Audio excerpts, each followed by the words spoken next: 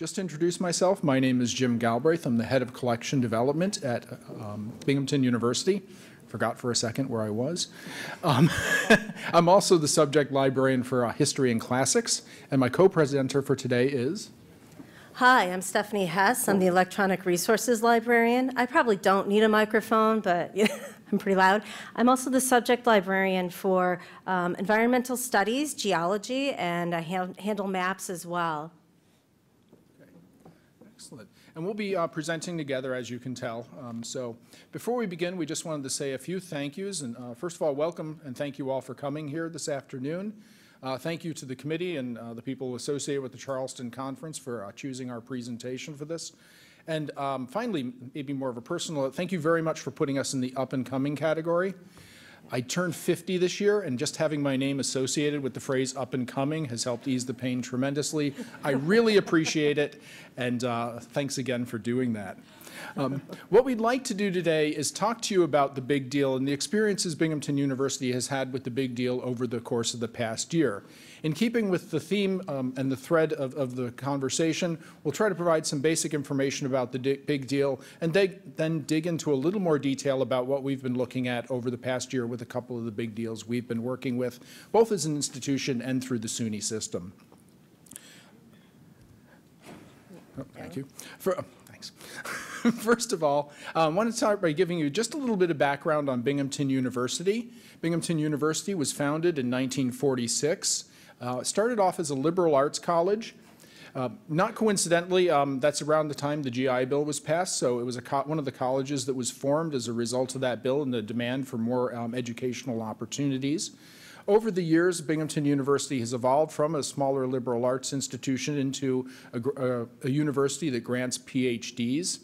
We are now one of the four SUNYs that are research universities, the others being uh, Buffalo, Albany, and Stony Brook. Uh, the SUNY system is the largest of the state, um, of the public university systems. We have 64 campuses. It's good to keep in mind that that's a combination of universities, colleges, technical colleges, as well as community colleges. So we have quite a mix of, of different types of institutions included in that, in, in that group. As the chart indicates, we are still, despite all of the new graduate programs that have been, that have been coming up, still primarily an undergraduate institution. You can see that um, just in the statistics there. That is a situation that's um, changing very rapidly on campus. We're introducing a lot of new graduate programs at this point, including a number of professional programs. And I know a number of you are familiar with this phenomenon where we're adding things like nursing programs as well as pharmacy programs in response to the demand for, for more training in those areas. Like a lot of your institutions, we also have a number of big deals. We wanted to make, since we're going to be talking about them, we wanted to make sure we, we told you a little bit about the ones we currently have. We really are maintaining four large big deals at this point, a total of $2.35 million, which is about 32% of our budget. Uh, the notable, well, you see the SAGE is the smallest, the largest of our big deals is, um, not surprisingly, I think to many people, our Elsevier big deal. Um, we currently do not have a big deal with Taylor and Francis. I think that's one of the notable exceptions on this list. I've only been at Binghamton for a couple of years. I'm not sure exactly why we haven't done one of those in the past.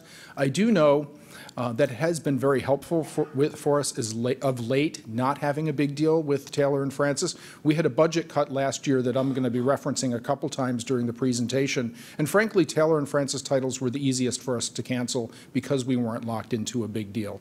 And so when you think about the advantages, disadvantages of big deal, that was obviously a really, um, for us, it was beneficial even if it was painful to actually have to cut those titles. So let's take a little history lesson here. Um, as always, we go down the rabbit hole. Um, it's no surprise to any of us that subscription prices of scholarly journals have been increasing at a much faster rate than in, in inflation for the past several decades. Uh, this kind of came to the head in the, in the uh, early 1990s when escalating serial costs and declining library budgets created a vicious cycle. And I think we, many of us are familiar with that. Uh, libraries wouldn't be able to afford a particular uh, title subscription, so they would cancel it, and that would cause loss of revenue for our publishers, and they would have to raise the prices on other journals. And again, libraries would see the new price, say, can't afford it, and cancel. So it set up this Lovely vicious cycle. Um, Dr. Jan Velterop, uh, how many are familiar with him or his work? All right, yeah. He's a big open access advocate, actually. But um, when he started out, he was a marine geophysicist, and then he start, went into science public, publishing in the 1970s. Um, at this point in the 1990s, he was about 1993, he was uh, at that point the European managing director at Associated Press, and he was looking at the data and he created a rather frightening graph um, that extrapolated what AP would have to charge for a typical journal uh, title if its subscription base fell to just that one title. Um, and that was so frightening that they worked out a plan. Um, and that is where we get the big deal model. That was based on his research and the research of others um, in the publishing field at the time. So, of course, this time, at this point in time, the challenge was compounded by the shift from uh, print format to electronic. Um, it's a pretty new thing, not sure how to control it. Um, to quote Dr. Velterop, uh, we feared there would be massive administrative overhead of authentication of different portfolios of journals to different customers. Certainly a valid fear. Um, but anyhow, in about took a couple of years, but then eventually AP uh, managed to convince uh, the Higher Education Funding Council of England uh, to sign its first big deal with AP, and that went into effect in January 1996. So that's how it started. But of course, that's not the end of our story. Um, the points I just mentioned are actually covered by Richard Poynder's a very good article. It's a little bit dated, but it gives good historical context. So that's why I'm recommending it. And then more recently, we can see um, that is it such a big deal on the cost of journal use in the di digital era from September 2018 um, gives a lot more uh, uh, review of what um, the impact of the big deal has been. Uh, the title of this particular uh, presentation, you know, Long Live the King, the King, the king is dead, long live the King, um, is kind of our salute to, you know, that smooth transition, like what's going on? You want to have a smooth transition from this big deal to something new. Um, so in this particular case, I cannot recommend highly enough SPARC's Big Deal database and their Big Deal cancellation tracker. The nice thing about the big deal, uh, how many of you are familiar with SPARC? All right, okay. Um, I figured you were. but uh, the big deal database uh, lists all of the big deals that um, of, of various institutions who have contributed their data. You can go in and look at it and see what are people paying. You can filter by institution. Um, you can see the different um, contracts that they're using. And then, of course, the, more recently, the Big Deal Cancellation Tracker has been very active. So again, this is uh, more information you can use to leverage in your negotiations. So I highly recommend those two resources. So in a nutshell, what's the big deal? Well, publishers bundle their journals into a single package at a significant discount over the aggregate list prices of the journals. Seems simple enough. Um, but in practice, big, a big deal might consist of hundreds or even thousands of titles sold in a one price, one size fits all package, with the pricing based on institutions' historical print subscriptions. Unfortunately, those historical print subscriptions uh, tended to be um, rather inflated. So you're already starting at a high point going into the new format. So uh, advantages for the vendor. Obviously, it's going to generate steady revenue at a higher price than they previously received, so they, they have that guarantee of income.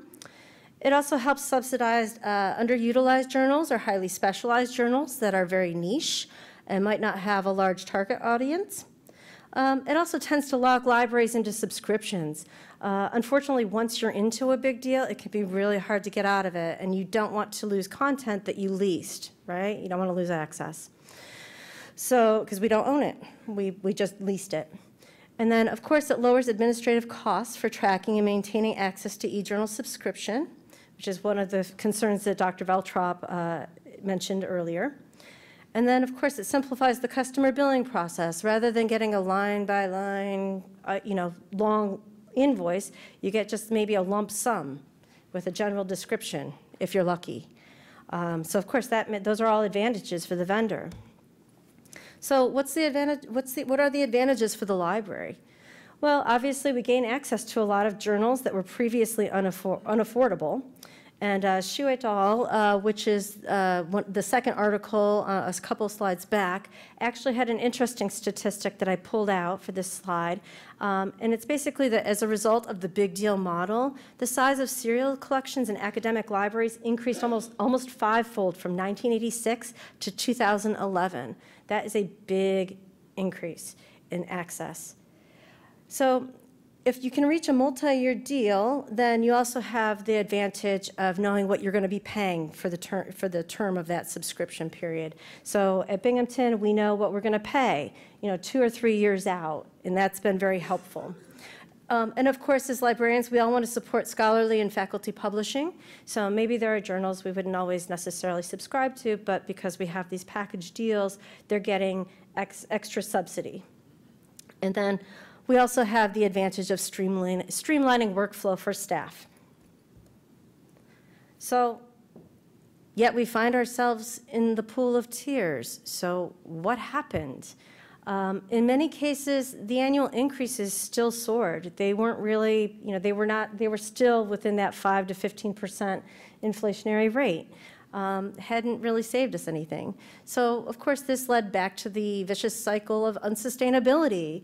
Um, we just could not keep up um, in terms of our budget. If there was an economic downturn, if enrollment was down, um, you know, that was going to lead to lead us to, to cut something. Um, and of course, that led us to the fact that the all or nothing approach didn't really leave us a practical way to trim costs. Uh, we had so much limited flexibility, and you can't, you can't really drop or substitute titles like you can in the past. I mean, there might be something in your contract that says the vendor is allowed to switch out titles of comparable cost up to a certain percentage, but that was an advantage for them, not for us.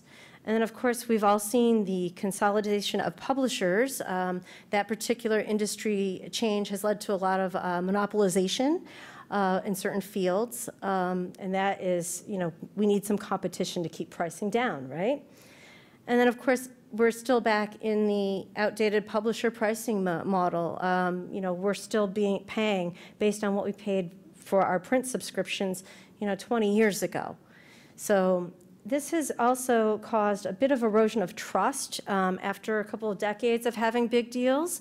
Um, you know, we're seeing things like, you know, incomplete title lists or, um, you know, lack of transparency in the transparency in the pricing. So we're not really sure exactly how much we're being charged per, for a journal title. You have to do a lot of legwork to get some of that information if your vendor is not forthcoming with it. Um, and then, of course, we have the, the rise of open access. Um, so that, of course, you know, leads us to additional content and, and, and what, how does that play into um, impacting our paid subscription material? All right. Um, based on what we saw and, and you know, kind of the reality of the big deal that a lot of us are facing now, there are a lot of different lessons we can take away from this. Um, first of all, I think from a collection development perspective, it's always important to consider and understand the long-term consequences of decisions we're making. Um, boy, I was I was a head of collections in a couple of institutions when we were making a lot of big deals, and I'm looking back at some of the decisions we made and and wondering if I shouldn't have been more circumspect about about looking ahead to the future and what inflationary results would be, that type of thing, in, in making those deals. Um, try not to beat ourselves up too much, however, because it's always hard. Hindsight's 2020, as we know, and so we, I don't. I also don't think we should be too. Um, too hard on ourselves for, for not anticipating a lot of the issues that came up.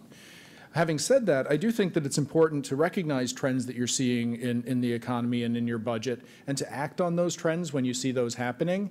And the one thing I think we're a little more guilty of as, as academic libraries as a whole is not responding with enough alacrity to the situation. And instead, really waiting until we were reaching the point where we were being forced to cancel title uh, items as opposed to taking more proactive steps.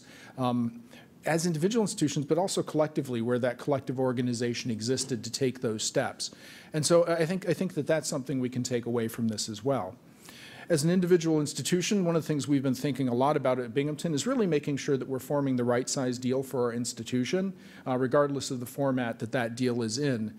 And at the same time, acknowledging to ourselves that just because we can afford something, it looks really, really cool, we, we don't really necessarily have to buy that object. Always thinking about what the opportunity cost is of spending money on, on one item versus what we can do um, spending on other items.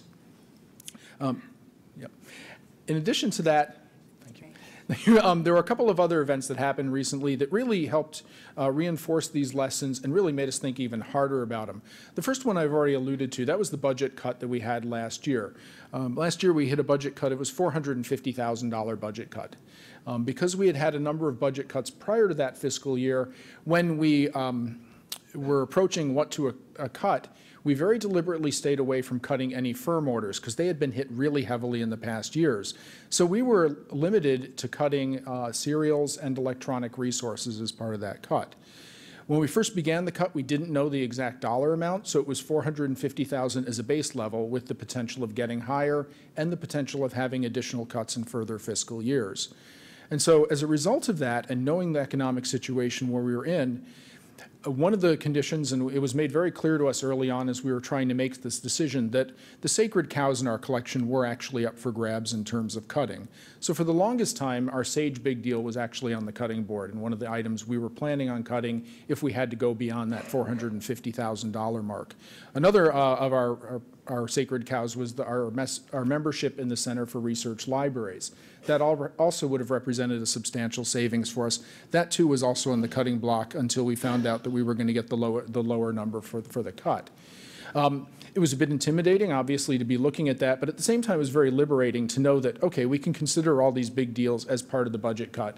Uh, one of the reasons, by the way, SAGE was singled out was because it was renewing that year, and, and it would have been very easy for us to cut that and eliminate that in order to meet the requirements that were being given to us by the campus for that, for that cut. So events like that, um, as well as the lessons, have, have, really stressed to us at Binghamton about how critical it is to constantly be revising our collection development strategy and constantly asking ourselves essentially that same question that the caterpillar asked, asked um, Alice, and that is, who are you? And so what we've been spending a lot of time of investigating and find out what the local information needs are and looking at our mission as a library and the campus mission to make sure that our collection development policies, our allocation of money, are all in alignment with the mission of the university and the mission of the libraries. And as part of this, what we've been doing is doing a lot of reassessing of our larger deals, including the, the big deals. Uh, looking at the big deals in light of our current budgetary system, where we forecast we're going to be in the future, and also, again, making sure that we're in keeping with the mission of the library. This has shown up in a number of different ways on our campus. In 2019, we at the same time we were cutting the budget, we were also in the midst of a reallocation project. Uh, two of our colleagues, uh, Jill Dixon and Carol Ward, are going to be talking in a little more detail about this tomorrow. Um, so we won't, we won't go in too much, into too much detail about this, but essentially what we did was we did a lot of data crunching, both quantitative and qualitative data. We found a system or developed a system for ranking departments in such a way that we were able to take to get a good idea of departments that were either over or under allocated in, or overfunded or underfunded. And then we used that to go back and, and reallocate some of our budget funds. Um, it's work like this that um, really impressed upon us the importance of constantly um, tracking not only our budget situation, what's going on in the academic departments, but also making sure we're keeping a really good track of the research interests. Uh, the other thing I, I, have become interested in tracking is the departmental revenue. This is becoming really critical on our campus. The departments are um, being allocated money based on the revenue they're generating through enrollment. So that's become a factor for us either in supporting the departments that are actually bringing in more students or departments that are perhaps struggling a little bit and need something else to entice those students to come to campus so that they can make those enrollment figures. The other way that this is starting to manifest itself is in deeper analysis of our collections. And this is part of the um, analysis that we're doing uh, for our, um, the Elsevier discussions that we have ongoing through the SUNY system. And this is, to me, just kind of fun with numbers. You just um, get some data and, and you start chopping it a variety of different ways. So I have a couple of different charts here. The first is just a rough market share calculation, um, adopting the, the, calculation of market share from um, business um, calculations. And what I was doing was trying to determine how many periodicals made up 70% of our usage, or 70% of the market, essentially. And I found of the 3,100, approximately 3,100 journals, it took 400 to get to 70% of the usage that we were seeing on campus. Um, A lot of different ways that you could potentially interpret that, but a very interesting statistic for us to take a look at. It certainly implies that there are a number of journals that really aren't of interest to our departments on campus. Uh, Similarly, also did analysis to check to see if we could start to identify some of the underperforming titles. And when we did that, we found I'm laughing here because I think my less than sign has to precede these numbers as opposed to be after it. So apologies for that. But having said that, um, one of the things I was looking for were underused journals. And so if you look at uh, journals, for instance, with less than 10 uses, uh, uh, nearly a third of the, actually about 40% of those um, journals, the 3,000 journals, had less than 10 uh, uses or less. And in this case, uses is also being defined as views of the full text HTML or PDF format. Again, indicating that this package, when you look at the interests of the campus, might not be a good fit for us across the board. There are a lot of journals that are obviously not of interest to a lot of the departments on our campus.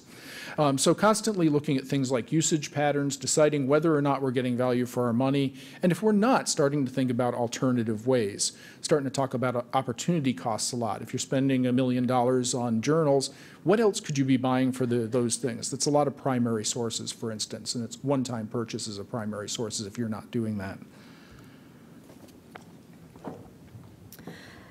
And so, of course, there's also the cost of our staff. Um, It takes time uh, to actually come up with this data, harvest it, um, mill it, uh, make it usable. Um, So in order to support our our decision-making process, um, we've been making workflow modifications, and I think these are, these are not unique to to Binghamton by any means. Um, But basically, you know, we had changes to organizational staffing levels, and there are a lot of new tasks that support effective data gathering and analysis, uh, maybe that we didn't have to do with print serials. For example, uh, we didn't really have circulation usage for our print serials. Uh, You know, our usage statistics were uh, going and looking at what was placed on a certain, a select table. We would ask users to please put uh, journals they had looked at um, on a certain table or a shelf, and then we would go and manually count them and kind of extrapolate that. Obviously, that's not really helpful. Um, It has its limitations. Um, And we also used to have a large staff to handle print serials, doing check-in and processing and binding and that sort of thing. And now we have uh, fewer staff who primarily handle electronic resources. Um, They're more focused on e-books and e-journals and, you know, setting up access to databases, uh, reading licenses, that sort of thing. Um, So there's, now we have more of an emphasis on harvesting the vendor-provided metrics as well. Um, A lot of our uh, vendors are COUNTER compliant, um, although some are not. So, but it takes time to go and, and set up the SUSHI harvester or, you know, troubleshoot uh, SUSHI, you know, so that the automa- automated harvester works. Um, which doesn't always work. Thank you, technology. Um, and then we also have um, issues like system migrations. Uh, SUNY actually recently migrated from Aleph to Alma, so that happened in July, and we're still getting our, our footing in terms of um, setting up our um, analytics dashboard. We do have some reports. Um, there are a lot of robust reporting features, but unfortunately, um, while this enhances the quantitative data that we can upload, you know, we can calculate you know, CPU, we can look at our fund allocations and expenditures, but it doesn't really allow us to kind of marry the qualitative data or look at qualitative data, which I think has been long overlooked. Um, so that's, that's something that um, we are now uh, grappling with um, because we want to reconcile our metrics with the value. As I mentioned, we have standardized uh, usage data, and then we also have non-standardized, you know, page views, downloads, data sets, that sort of thing. Um, but then we haven't really uh, you know, combine that with our qualitative measures. So one of the things we have um, begun doing is looking at, fact, you know, key faculty activities. You know, where, what are they researching? Where are they publishing? What courses are they teaching? What do they need to prepare? Um, what are the curriculum developments? As Jim mentioned earlier, uh, we have several new programs. So what, what kind of support do we need to provide there? Um, and of course, you know, faculty also have their service commitments and personal interests. Um, So you really need to determine the extent to which the library's journal subscriptions are supporting these activities. We can't just say, oh, here's a big package full of titles, and you'll find something in there, right? You know, because that may or may not be the case. So, and that brings us to the Cheshire Cat. Personally, the Cheshire Cat is one of my favorite characters ever.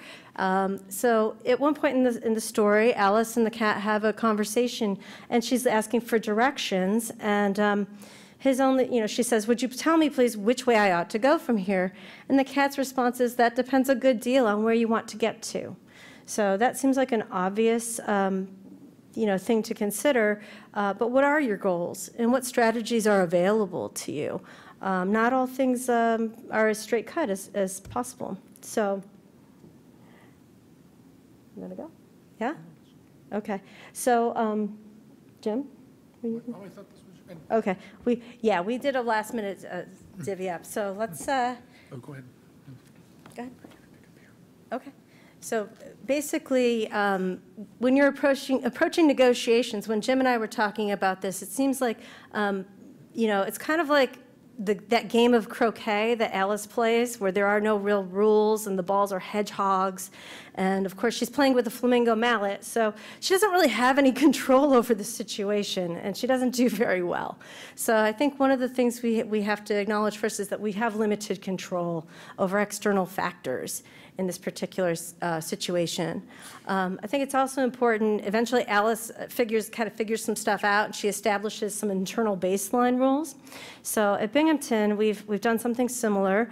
Um, For example, you know, we have decided that all three-year deals, deals must be capped at 3% annual increases. Um, Obviously, we always go for lower, but um, three is the maximum. Our dean of libraries would, would not permit anything over 3% for three years, no way.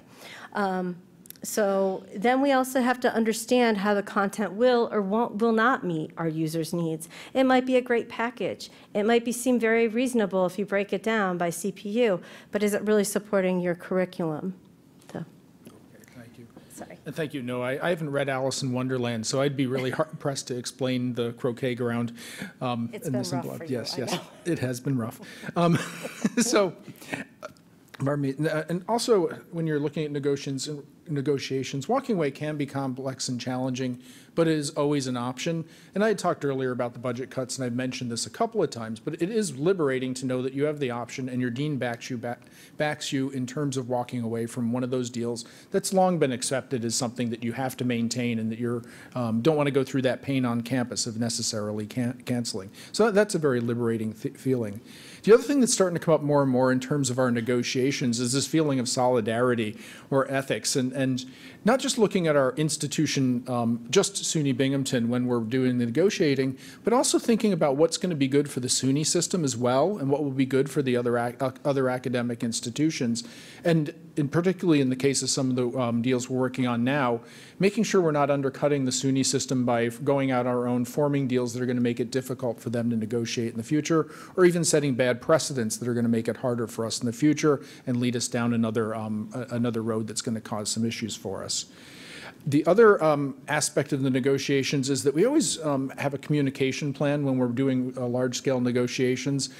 We want to make sure that we're communicating with our campus, uh, with our library faculty, and with the faculty on campus to let them know what's going on.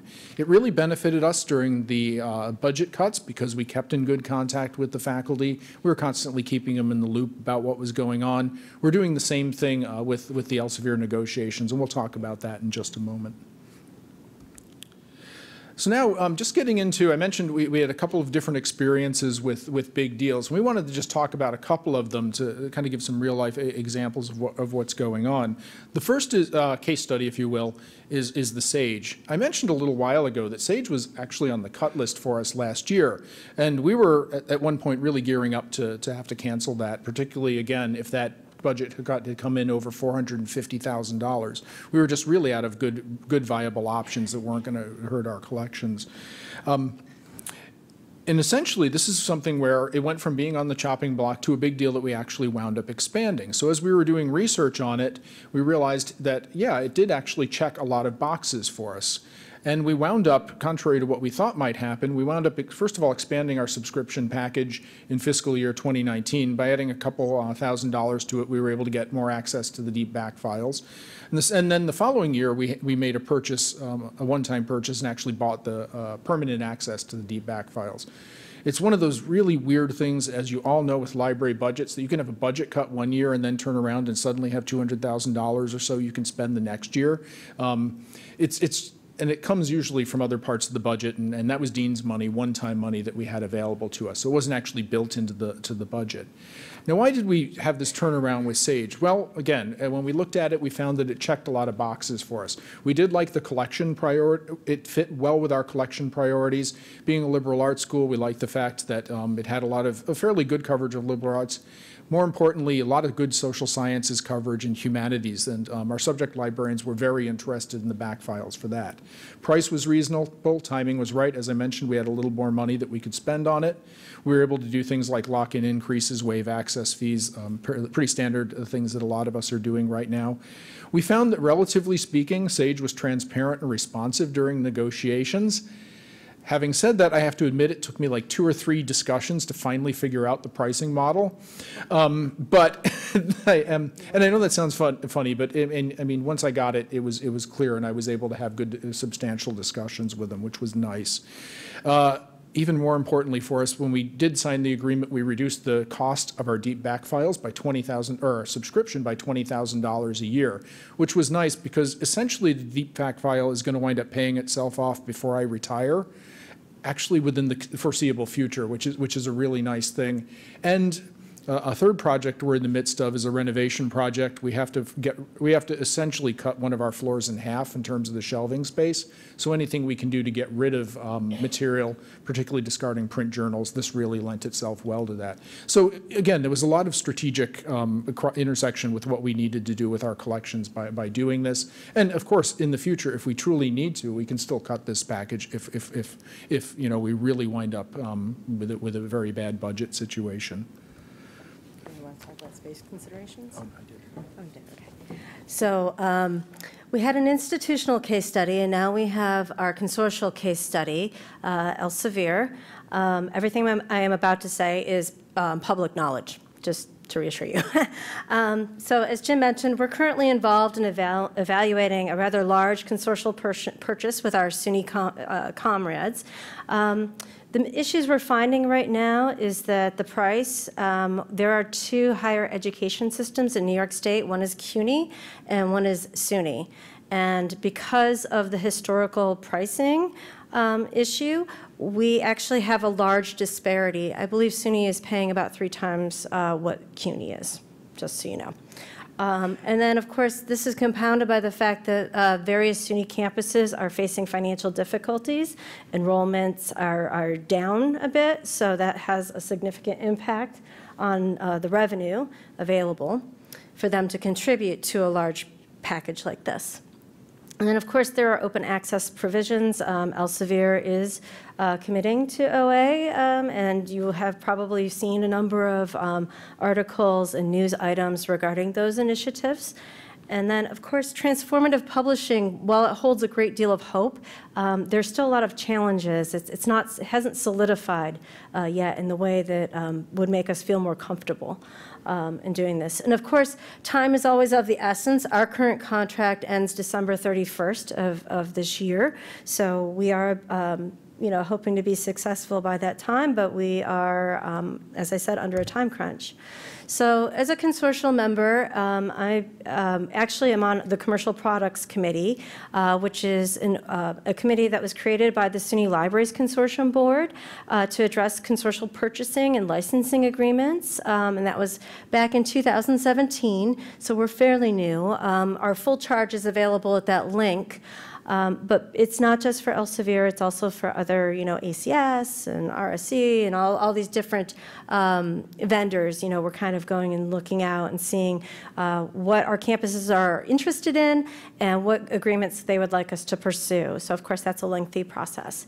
Um, As Jim mentioned earlier, SUNY is made up of 64 campuses, and here you can see the breakdowns by the numbers. We have four university centers, 13 university colleges, 30 community colleges, and seven technology co- uh, colleges. So of course, this is, um, you know, it makes it even more difficult because there's a broader spectrum of curricula out there that we need to satisfy. And obviously, um, you know, a, community college won't necessarily have the same, you know, research um, or teaching needs as a university center. So how do we reconcile that?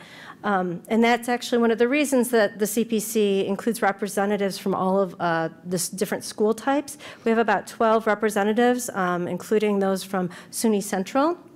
So it's, it's a fairly large group. Um, So of course, to get back to what our negotiations actually entail, uh, lots of communication. Um, We have all kinds of letters to campuses regarding our, you know, negotiation developments. Um, We've already held a series of town halls back in uh, spring, and there is currently another uh, town hall series happening now. Um, The one at Binghamton, I believe, is going to happen, uh, I think, November 19th um, but that has to be confirmed. Another uh, interesting uh, development is that the university, the SUNY-wide University Faculty Senate recently re- uh, approved a resolution. Almost, um, I think the vote was uh, only two opposed, but it's basically to say that they support CPC's efforts, that the SLC board is um, you know, the path that the SLC board has us pursuing is fine with the larger SUNY community, so it's really nice to have that support. Um, And also, uh, the CPC members, we're looking at our campus's um, top use journals to see what is the, uh, basically the most used. Um, We're using our COUNTER reports for that. Um, We're also calculating CPU, that still has a big hold. And we're, uh, you know, again, canvassing our survey to get their, um, their input. And then another thing that we are doing is uh, we are reconciling and verifying our post-termination access rights. Um, We do have PTA. um, However, different campuses have different PTA rights because of the model uh, and according to the contract. um, you know, if you weren't paying into it and you join later, then your PTA doesn't extend as far back as, say, a campus that was paying individually for subscriptions going back to volume one, issue one. So, um, what's our plan B? Um, that's a good question.